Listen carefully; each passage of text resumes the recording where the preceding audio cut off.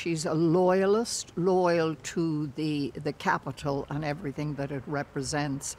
And she doesn't really want anything changed. And she wants her grandson, um, Tom, played by Tom, um, wonderfully played by him, I might add, to triumph in the games because she knows that that way he'll survive and, and they will survive as a family.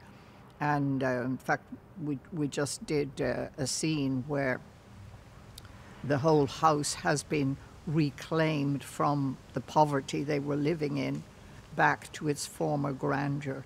And so she doesn't want them to take the furniture away, naturally. And uh, so she's very much on the side of the Capitol and has no time at all for the people who, the, the have nots, who live in poverty and starvation. We went through a lot of trials of uh, turbans. You know, she's a turban woman, and uh, but we tried turbans, and then uh, we tried hats, and then this was the final um, pièce de résistance, I should say, and uh, it's perfect for her, you know, and it's perfect for the outfit, and and I think it balances the outfit in a way that gives me enough, um, you know, enough strangeness and you don't quite know whether you should take her seriously.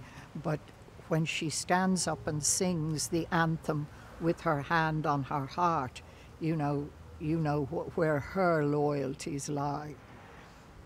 The people who designed and made the outfits, and they made two outfits for me, were are just. I mean, they, they. There's a woman locally who did all the embroidery, hand embroidered these flowers onto the the, the outfit. And uh, just a fabulous team of designers